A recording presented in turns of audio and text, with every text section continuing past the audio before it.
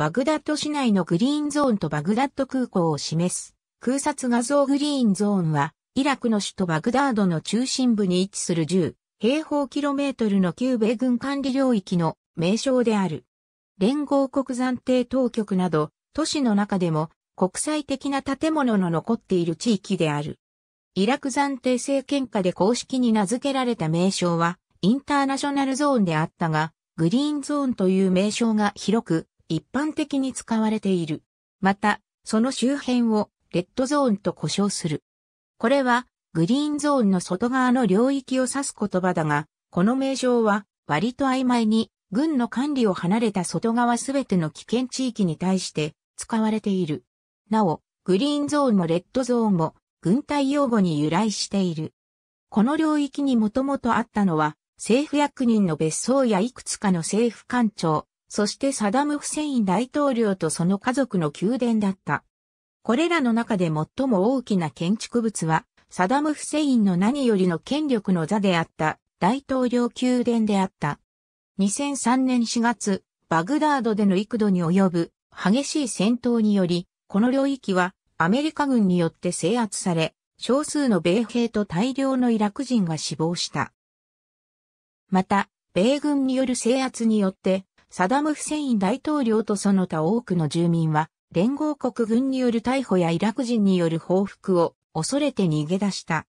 空爆によって大部分の政府庁舎が破壊されたが、バグダード中心部の数多くの建物が放棄された。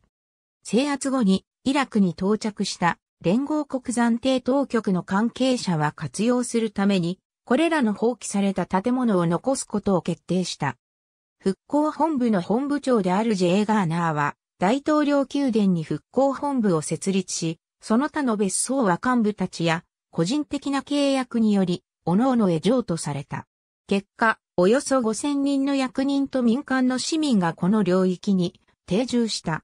この捨てられた建物は連合国軍だけではなく、一般のイラク人にとっても魅力的なものだった。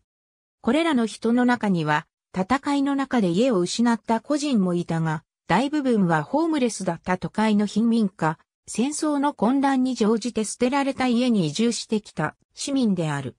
彼ら市民の多くはバースト派でなかったから復興政策を推し進める連合国暫定当局としては都合が良いものだった。